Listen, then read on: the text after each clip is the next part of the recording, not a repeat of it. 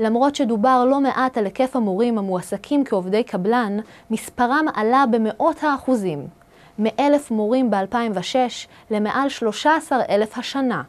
משרד החינוך מוציא יותר ויותר את כוח ההוראה שלו למיקור חוץ.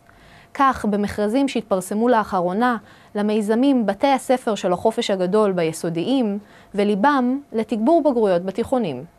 תוכנית שנקראת ליבם, שזו תוכנית תגבור לקראת בגרות, של תלמידים שצריכים תגבור לבגרות, ששם מורות של בית הספר מלמדות תלמידים של בית הספר, במבנה של בית הספר, עם רכז של התוכנית שממונה על ידי בית הספר, גם כן מצוות בית הספר, אבל מי שמעסיק את המורות בפועל זה זכיין.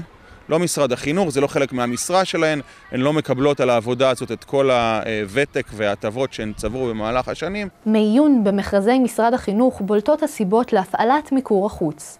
הקבלן והמועסקים דרכו לא ייהנו מהזכויות שיש לעובדי הממשלה, וכל הוצאות גיוס והפעלת כוח האדם יהיו על הקבלן. משרד החינוך הציב את הקריטריון של עלות ההצעה בעדיפות כפולה מקריטריון האיכות. החלפת זכיין כל כמה שנים עולה כסף.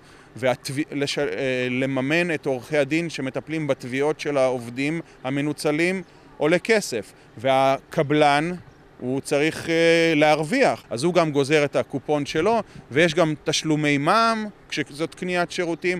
כל המרכיבים האלה הם בפירוש מייקרים את השירות בצורה מלאכותית ולא נחוצה. שי פירון נכנס לתפקידו וביום הראשון לתפקידו הכריז שתוך שנתיים לא יהיו מורי קבלן. מאז שהוא נכנס לתפקיד פורסמו למעלה מעשרה מכרזים של הפרטה של תוכניות חינוכיות.